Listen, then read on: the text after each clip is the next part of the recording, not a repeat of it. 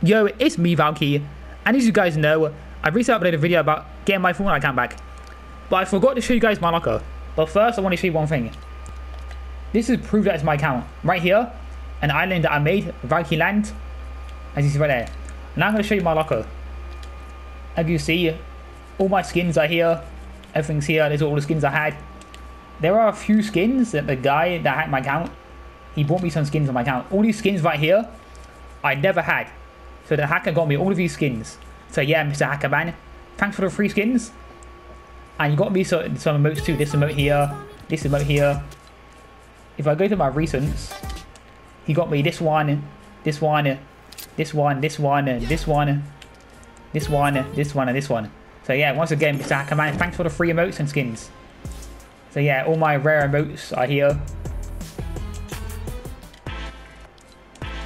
All my back blings are here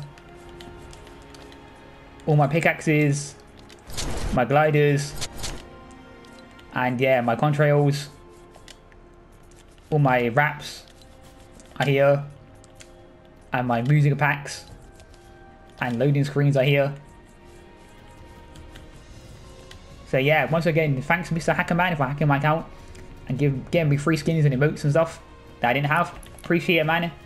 And I'm happy that Epic Games recovered my account and I made sure I enabled every single security mode that I could on my account to make sure it doesn't get happen again.